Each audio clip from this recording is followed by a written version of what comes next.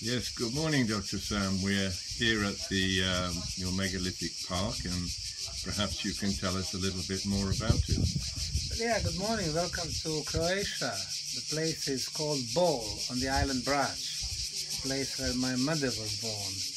And I've been spending quite a time here every year. This is my ranch, and just below is the megalithic park, which I built uh, two years back in 2014 and these are the things that I like.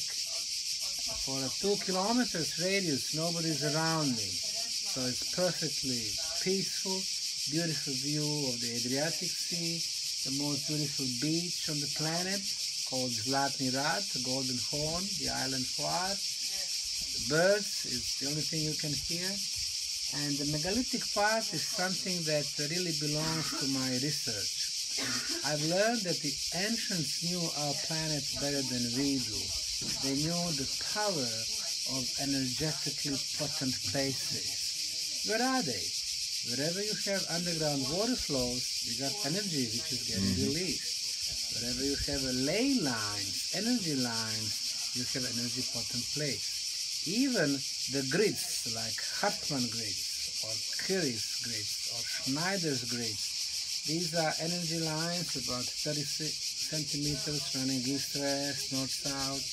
Every three meters they intersect. They are also potent energy places. And there is positive and negative Yeah, energy. well, the ancients knew that if you put a stone block on such energy potent places, the stone receives the energy and slowly re- release it to the surrounding area. And if you make a circle from erected stones, then you got energy movement and energy flow either clockwise, and then we call it positive energy, or counterclockwise, which can be called negative energy. Hmm. So the idea is how to get the movement you want. For example, positive. And you will see in the megalithic park how I managed to do that. Basically, I got all my blocks moved a little bit to the right, so I was getting this clockwise energy movement.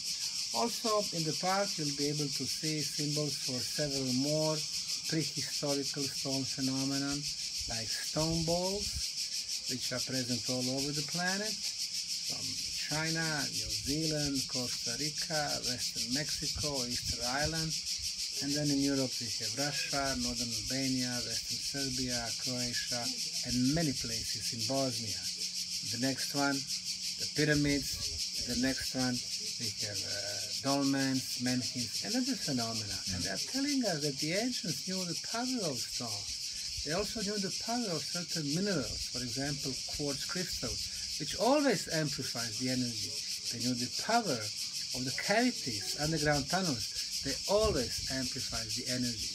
So the ancients were smart because they were able to locate certain geometrical shape, like the shape of the pyramid, conical shape, or spherical. That's why we have stone pyramids, tumulus, stone balls. And then they would amplify existing energy sources. They were getting high quantities of energy.